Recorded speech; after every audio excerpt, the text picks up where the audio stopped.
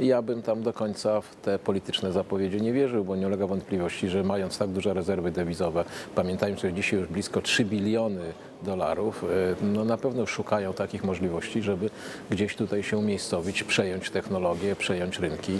E, Tym bardziej, że przecież nawet gospodarka chińska ma taki specjalny pakiet, tego typu pakiet, który jest pakietem zarządzanym przez państwo, które są pieniądze przeznaczone na to, żeby wykupywać co bardziej atrakcyjne kąski w tejże Europie. Także to jest taka zapowiedź uspokajająca, zwłaszcza w kontekście no, e, współpracy z Niemcami i, i takiego przytulania się trochę do Niemców, bo Niemcy mają też dosyć nowoczesną technologię, też są bardzo, bardzo nowocześni pod każdym względem. I z tego punktu widzenia to jest taka polityczna zapowiedź. Dla mnie nie ulega wątpliwości, że Europa jest dla Chińczyków atrakcyjna. Proszę zwrócić uwagę, ile firm e, już zostały wykupione przez Chińczyków, żeby nie wspomnieć Volvo, żeby e, nie wspomnieć o firmach, które zajmują się modą, chociażby Prada czy Gucci. Tam mają olbrzymie udziały, bądź są wręcz właścicielami. Także mm, Europa dla Chińczyków jest bardzo atrakcyjna pod każdym względem, pod względem kulturowym, pod względem ekonomicznym. Że to jest taka zapowiedź miła, sympatyczna, ale polityczna.